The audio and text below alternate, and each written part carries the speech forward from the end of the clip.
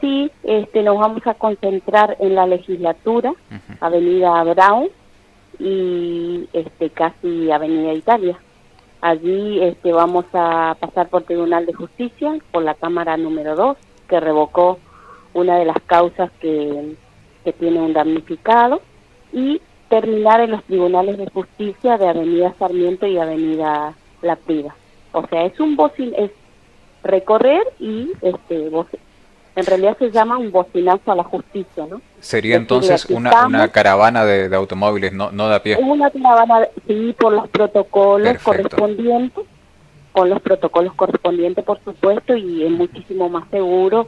Aparte va a ser breve, este, así que esperamos a la prensa que nos acompañe, porque le va, este, necesitamos pedirle a la justicia que acelere los tiempos este, procesales nuestros ya que eh, tenemos cautelares y mucha gente está esperando porque ha hecho en estos últimos tiempos debido a que en, el tiempo de pandemia, antes de la pandemia ya estábamos en crisis, aún aumentaron más en, en, época de pandemia por diferentes situaciones, eh, situaciones, digo, de los damnificados que se han quedado sin trabajo, que no pudieron trabajar, eh, y bueno, entonces muchísima gente decidió hacer las demandas y estos últimos tiempos es como se está tardando un poco las demandas eh, debido a que como que se pausó en, la, en el tiempo de pandemia. O, algunas están saliendo rápidas, otras no. Y hay otras cuestiones este, que queremos eh, que... Y eh, tendríamos que haber tenido las primeras audiencias preliminares y la justicia del Chaco decide que esas audiencias van a pasar para el año que viene y eso estamos hablando de febrero. Y nosotros necesitamos la respuesta para ayer. Lo antes posible, claro. Todo este año estuvimos muy cautos, muy este muy respetuosos, diríamos, de esta situación que estamos viviendo, pero en realidad en nuestras casas eh, la situación aún eh, se fue agravando, no tanto en lo económico como también en la salud. Muchísima gente está con situaciones de, depresión, de depresiones, con este, situaciones de presiones altas, con situaciones de ACD, de este, problemas cardíacos, o sea que esta situación trajo porque no hay una solución, no hay, este, o sea, más allá de la justicia nosotros no tuvimos otra respuesta muchas de las personas hemos podido judicializar, otras no, no han podido judicializar. Y las que hemos judicializado aún tenemos cuestiones porque eh, hay administradoras que no han eh, acatado los fallos. Entonces tenemos que hacer eh, depósitos judiciales y esos depósitos no son retirados, por lo tanto nos dejan sin seguro.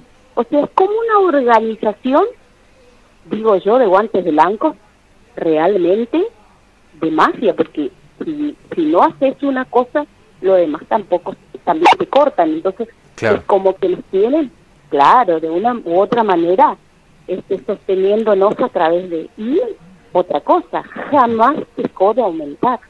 Imagínese que hay cuotas de 40 mil pesos y díganme cómo hacemos en una familia con esta en esta situación eh, pagar esas cuotas como hay de 30, como hay de 20, cuando nuestro sueldo no supera los 35 mil pesos. Entonces, es imposible, y eso es lo que le queremos decir a la justicia también, que, que pueda comparar, porque no le decimos que no queremos pagar, pero también que sean cuotas coherentes, que sean justas, que tengan que ver con el, porcentaje de, de nuestro sueldo, supera los sueldos supera, ampliamente supera.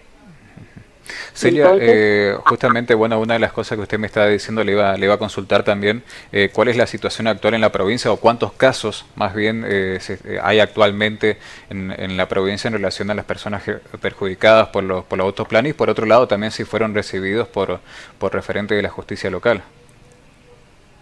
mire, en referente a la cantidad de, de este, todos los días siguen llegando, así que nosotros pensamos que seremos 4.000 familias en la provincia del Chaco. Mm. 4 millones en el país. Sí.